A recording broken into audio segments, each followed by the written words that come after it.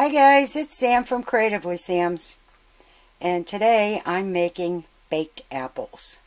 This is the perfect time of the year to make it. The apples are in abundance right now and this is a really nice dessert that's not overpowering.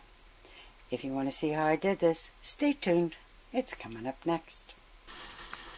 Okay, what you need is a covered dish that's suitable for oven temperatures.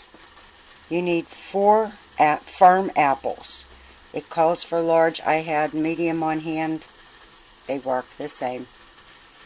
Then for each apple you need two tablespoons of sugar, a few grains of cinnamon, one teaspoon of butter, and after you have this all put together you need a half a cup of hot water and you will be baking this at 350 degrees for 50 minutes or until it's tender.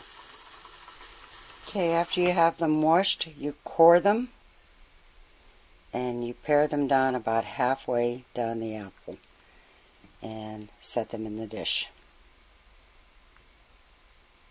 Okay, once they're all cored and pared, just want to take two tablespoons of sugar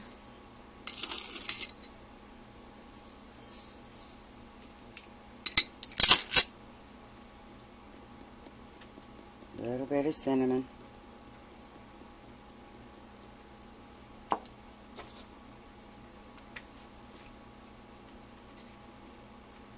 One teaspoon of butter. It's a lot easier to cut this if it's cold.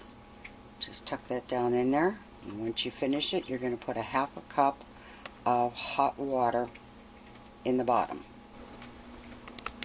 Yeah, I'm just going to pour the hot water on the base of the apples.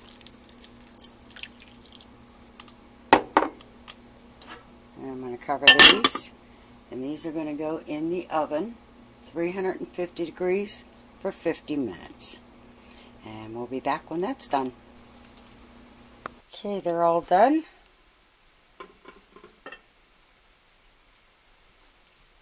Now what you want to do is take the apples out and put them in a plate.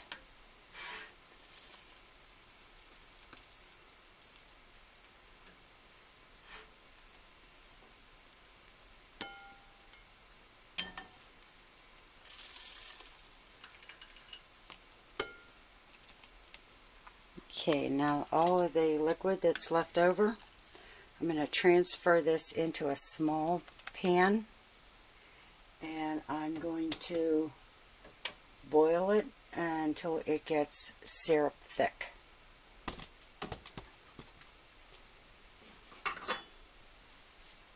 And this is hot.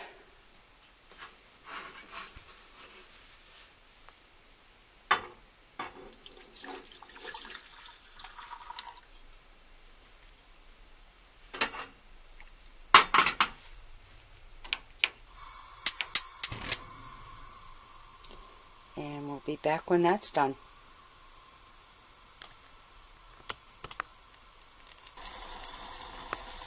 Okay, this has been boiling for about five minutes and it's already thickened up. And you can let it go more if you want it thicker. I find this is just fine.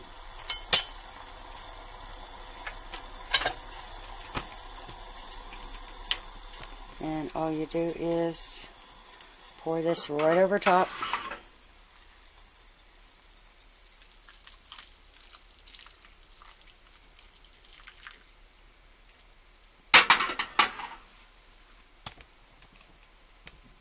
And it's ready to go.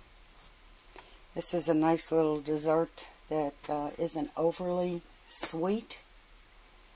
And this is the perfect time of year for it so if you like what you saw, give it a thumbs up. Hit that notification bell so you don't miss any more of my recipes.